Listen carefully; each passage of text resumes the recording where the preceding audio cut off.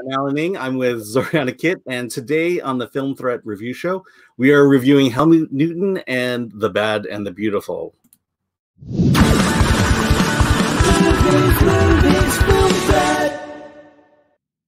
All right, today we've got a documentary about famed photographer of the 60s, 70s, 80s to today, um, Helmut Newton. Um, I've never heard of him, but you've we, never uh, heard of him, really? I've never heard of him. You know, I that's that's the thing that that struck me throughout uh, watching it is how out of the loop I am with uh, with 60s, 70s high fashion photography. How come I'm looking at you? I wouldn't think that, Alan. yeah, Tommy Bahama. yeah, I mean, it's like I grew up in that era. I, I, I somehow should have made connections with what was going on then. But uh, this is, I mean, this is, I, I certainly have heard of Grace Jones, who appears uh, quite extensively in, in the documentary. Uh, I mean, what is your, how, how familiar are you with? Well, I remember pouring through Vogue magazine and seeing his photographs. He was a very, very distinct photographer. Um, everything was, he had a lot of strong Amazonian type women who were in there, but they were often doing something that was more along the lines of, I mean, some may call it, you know, borderline pornography or S and M, maybe a little misogynistic. They, there was, they were very provocative. This wasn't like Herb Ritts or a Richard Avedon, if you even know who those guys are. But he he those guys were were more high fashion beauty photographers. Helmut was there to provoke, to disturb, to to cause people to think, and his photos did provoke outrage. Luckily for him, Anna Wintour, the editor in chief of Vogue, gave him a platform. And so mm. he was featured in the pages of that magazine. And he has photographed so many celebrities and supermodels, which is what makes this documentary interesting, even if you don't know the guy, because they appear as talking heads. Yeah. We've got everyone from Charlotte Rampling to Grace Jones to uh, Claudia Schiffer to uh, So there's there's a lot of recognizable faces, all of whom are talking about him. Uh, so don't worry about not knowing. And plus, the documentary will show you so much yeah. you, you, they show you a lot there's there's a lot going on i mean one of the things that that i thought of while watching it was um i don't know if you remember in uh, this is spinal tap when fran drescher is uh, describing the album um pitch that the band had of the the woman on all fours, naked with a glove in her in her face. um, that, that, was those are the images I, I, got, and then watching it. I mean, there's there's copious amounts of nudity.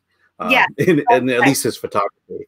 But you know, um, you but what struck me, sorry, go ahead. Didn't mean to interrupt. But yeah, what what struck me was the that it the like when I think of getting nude or being nude, there you the, think the, getting nude?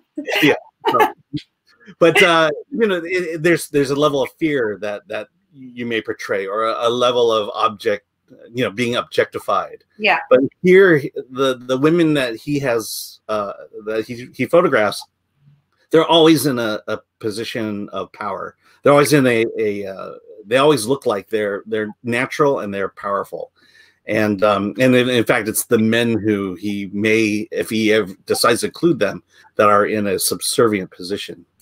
Yeah, agreed. And then when you see the outtakes uh, of him photographing these women, they're actually having a lot of fun. There's there's this scene where he's on top of the Marmont photographing this naked model, and he's he's telling her to position her face a certain way or this way or that way, and and they're laughing. And then of course we mm-hmm. later learn that he was happily married to this wonderful woman June, and she was actually the the the brains behind the artistry and and mm-hmm. the the big mama bear for all these photo shoots as well. And surprisingly, for a guy who was that provocative, he he was quite kind of like an ordinary kind of guy. There was nothing really kinky about him in real life. Mm-hmm. He was he was quite normal, uh, for lack of a better word. Yeah, you, you definitely get the sense that he's an artist, that he he looks for imagery, he looks for uh, you know, the, the, he's looking for a specific look as opposed to being titillating or or erotic at all. And yeah. uh, I think that's what most people appreciate about him, and and and they also appreciate his sense of humor. Um, there's there's a moment where he's uh, you know he's putting a chicken in high heels. yeah. See, to to be honest, personally, Helmut Helmut Newton is not my taste. I do remember all of his Vogue spreads, and I do remember they're not the ones that I would rip out and put on my wall. I didn't necessarily care for them, but I was fascinated by them. So, so his artistry didn't speak to me as an individual in any capacity, but, but I, uh, uh, it, it, they, they were, they, they were art. They were all mm -hmm. art, and um, and to learn that this is a man who had survived um, uh, and all of that stuff as well, and how he uh, moved to Australia, and then how he started out as a photographer, and all those all those roots, and then of course. Of course, having a entanglement with uh, the Chateau Marmont, which is where he stayed um, several months out of the year. And he lived there and ultimately met his death there. So if people aren't even familiar with him as a photographer, most people do remember his tragic death when he lost control of his yeah. car and just careened straight into the wall there. It's amazing how the that the ending just kind of comes out of nowhere. Um, so like, the one thing that that struck me though is you know how would how would Helmut um, how would, how would he do today as a photographer? Um, you know, I, I, think you could, I think you could arguably claim that he was misogynistic, that he was. Uh, Susan Sontag in the documentary uh, just calls him out on it right then and there. We see that. Mm -hmm.